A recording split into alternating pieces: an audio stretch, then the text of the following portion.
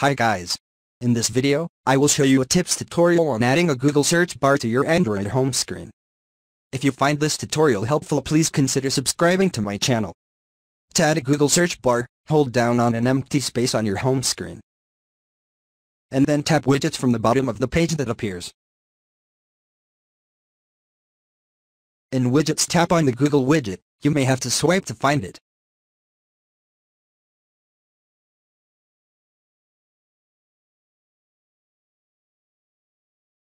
Swipe through the Google widgets until you get to the search bar.